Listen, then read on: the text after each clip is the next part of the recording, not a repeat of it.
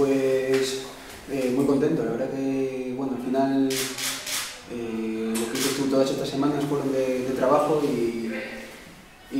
no hay nada, no hay mejor premio que, que, que llegue un partido y que te salga bien y salir con,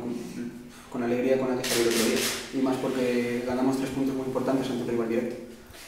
Eh, bueno, yo físicamente no era mi mejor momento, pero sí que es verdad que yo estaba bien y no, no había ningún problema, pero bueno, al final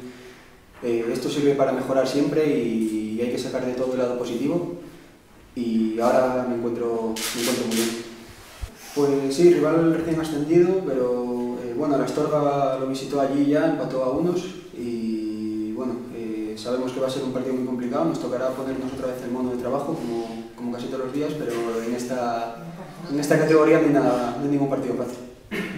Bueno, al final eh, equipos como la Segoviana, la Grandina son también equipos muy fuertes, ¿no? Y, sabemos que van a pinchar poco, pero nosotros tenemos los objetivos claros y vamos a estar ahí en la pelea y al final, pues, eh, estoy convencido de que sacaremos lo mejor de nosotros mismos para, para ganar el campeonato, que al final la jornada 32 es la que vale.